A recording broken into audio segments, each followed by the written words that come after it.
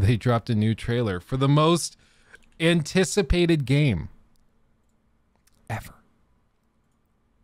Full stop. Full stop. Are you ready? The most amazing game we've yet to play XDefiant. This is XDefiant, a free to play competitive shooter featuring fast paced gunplay complemented with specialized factions. So, what are the factions? Our factions are all drawn from iconic Ubisoft worlds and represent distinct classes, each with unique abilities. It does look very COD like. Very much so. Even down to the fonts used. It's very, very similar. Wasn't this one that they announced and then they like they had a release date pretty soon and the response was so negative that people backtracked and they they like delayed it indefinitely? Wasn't that a thing? Or am I thinking of a different game that Ubisoft also announced? I think it was this one. Like it got teased into oblivion. And Ultras, you can choose any character from any faction to assemble your team of six players. And during the game, you can change your faction or loadout to adapt your strategy. For your loadout, choose from a large arsenal of weapons and attachments to customize and fit your playstyle. At its core, XDefiant features realistic gunplay and the fun, familiar mechanics of an arena shooter.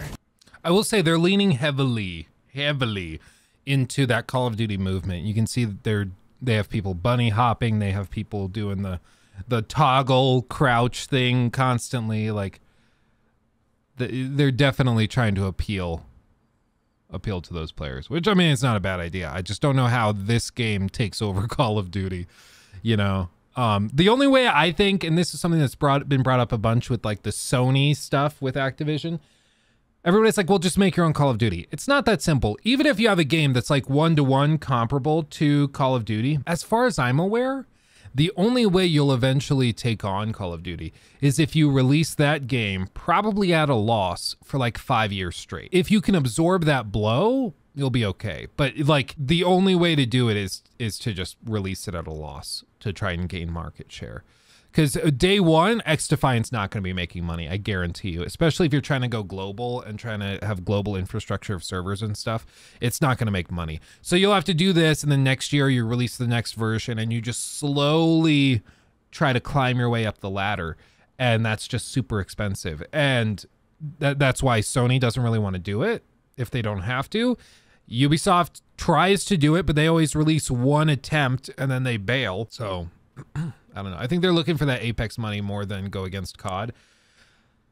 Maybe Apex was just it was freakishly polished and it was fresh and different and the perhaps most important thing is that it came out of freaking nowhere. Like you guys remember, nobody knew Apex was a thing. There were like rumors of a Titanfall themed battle royale, but it like dropped fully. I, I don't think there was even an announcement. I if I recall correctly, correct me if I'm wrong. I think they just released it. Didn't it just launch one day and people like, "Oh my god, there's a new Titanfall battle royale out." What? Just dropped like right now? Yeah, they hired some streamers to play it for a few days and it became the talk of the town. And that right there, that word of mouth did way more. And and furthermore, um it reminds me of that the thing from you know the the chess memes recently. The chess speaks for itself. In this case, the game speaks for itself. If the game is good enough, I think an audience can find it, so long as you don't mire yourself in PR muck. Like Lawbreakers. If you recall Lawbreakers, that whole thing with Cliff Bleszinski, the guy that was one of the creators of um, Gears of War, he came out and released this game Lawbreakers that Krabby Cat did a video on and it basically just flopped because everybody just thought that it was effectively Overwatch but with a zero gravity mechanic. And they kind of leaned into that. But by that point they're already playing catch up because they've already framed this thing as well it's just a different version of Blizzard's game. And at that point what are you doing? What are we doing? It's just a mess. So, um, yeah, Cliffy B killed that game by being obnoxious. I think that was it. I agree. He released it at 40 bucks and then was like, see, none of that $60 multiplayer only bullshit. Everyone's like, but you initially announced it as free to play and then you backtracked and released it as a, a $40 title. Like, come on, dude. I get it. It's not easy to make money. But again, that's another example of like when you have these franchises and these devs that are gar- gigantuan, gargantuan, gargantuan, gigantuan. What is that? Gargantuan, like Blizzard or Activision. They release something out of nowhere. It'll probably be a very successful game no matter what because they just they have so much like social cachet from their reputation as game developers and publishers. But for Ubisoft or for Cliff Studio, for any of these guys to come in and try to take on those those guys, once in a blue moon they might get lucky and have an Apex Legend situation, but people kind of need to make their own luck. And in his case, I think he talked way too much. I think if Lawbreakers just dropped out of nowhere one day, it would have stood a better chance than everything that they they did. Have a look, Boundary. Remind me in a moment, Sonny, when we uh, get through this. Each battle will take place on one of our 14 starting maps. Play casual matches and have fun with players of all types and skills, where every match delivers an unpredictable and unique experience. Or play Crazy fast TTK, too. Play ranked mode in competitive matchups against your peers to push yourself further and see what you're truly made of, whether you're a beginner or ready to dominate the game. XDefiant is free with crossplay, so jump in with your friends across platforms. And as a live game with fresh new content every single season, XDefiant will continue to deliver an accelerating experience that will always be free to play and never pay to win. Ubisoft, it's taken them 10 years to figure out that's what people want. Free to play, not pay to win. I'll believe it when I see it. that's just so funny, though. They're like, oh, is that what people want? Why did no one tell us?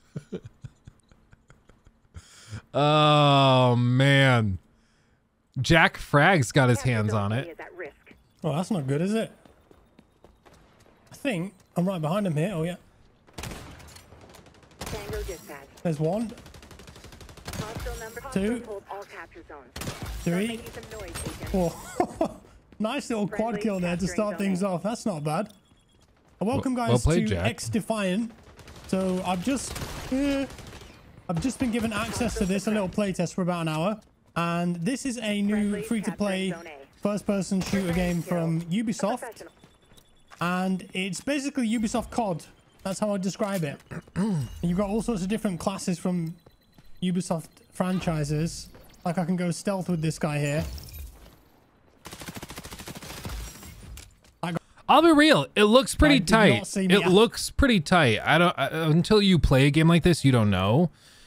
Um, it could look really good, but then when you get your hands on it, it's really floaty. I don't know, but it looks pretty good. Honestly, it looks pretty good. I would like a competitor COD. I, I would like it. Like I would try this, especially being free to play. That that like super tight gameplay of COD is something that's so hard to replicate, though. Like even Battlefield has struggled to to keep that up especially recently. My goodness.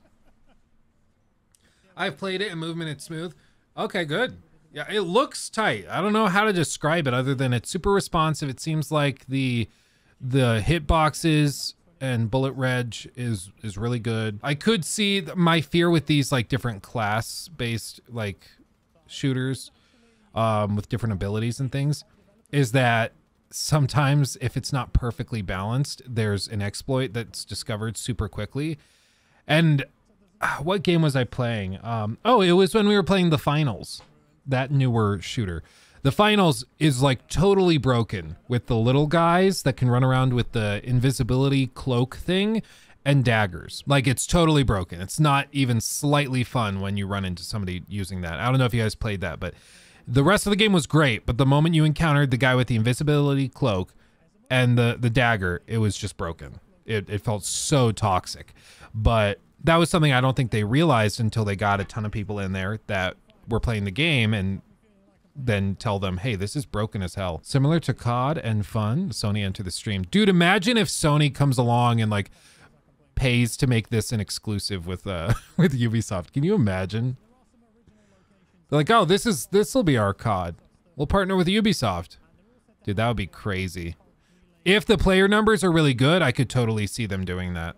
I could totally see them trying that. Although in Microsoft Activision Blade uh, Blade deal goes through, I guess we won't have to play for COD anymore. Yeah, I mean, it's true. Um, it'll be in the game or in uh, Game Pass. I think it like they'll still charge for like all of the extra packs and the the extra cosmetics and you know everything that you can buy through microtransactions now will still be a thing, but the full like sixty dollar whatever for the multiplayer won't be won't be charged. I think that'll be free. Different tape on it there too. You guys were saying this is made by a bunch of COD devs? This AK here. Like former COD devs? No, I don't think I've... No, I'm not even level 2. But yeah, I want to show you this as well. Look, mastery camos.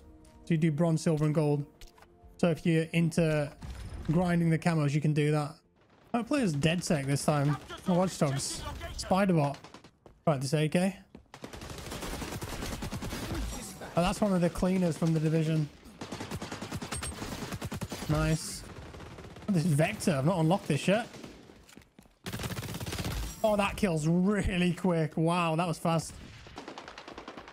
Get a little flank on here. No, my aim was off there. I think this is kind of like hardpoint. Damn, this thing's shrew- Oh. I'm dead. Guys, this is a travesty. Look, I found a slide, but you can't go up it or down it. What's going on? That would be fun, actually. That would be low oh, key really fun. my teammate. I don't know. Honestly, it looks good. We're gonna call you know Ubisoft out when stuff they put out looks like hot dog water, and then when they do something good, we'll we'll give them uh, praise for that because this actually looks decent. It doesn't look bad. He took my thing. Red, red.